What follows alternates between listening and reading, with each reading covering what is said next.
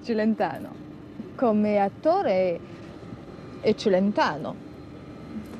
E come uomo è Adriano. Cioè di più? Celentano.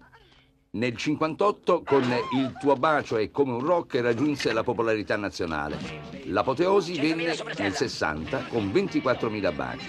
Suo malgrado, Adriano il molleggiato come fu definito, divenne attore in una serie di film canori con venature di commedia.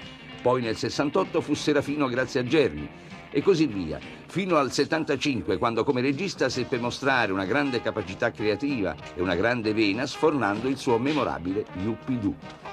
Oggi regala al suo pubblico un uovo di Pasqua che si chiama Asso. Ed un asso è veramente il nostro Adriano, se è vero come è vero, che dalle soglie degli anni Ottanta fino ad oggi diventa, sotto la direzione di abili registi, campione di incasso. Il bluff, 4 miliardi e mezzo, Mani di velluto, 7 miliardi, Qua la mano, 9 miliardi, fino al bisbetico tomato con il quale i produttori hanno incassato l'altro anno l'incredibile cifra di 14 miliardi. Si direbbe che gli italiani vanno al cinema solo per vedere lui. A questo punto mi sembra di capire che tu faccia il divo qualche volta. Sempre.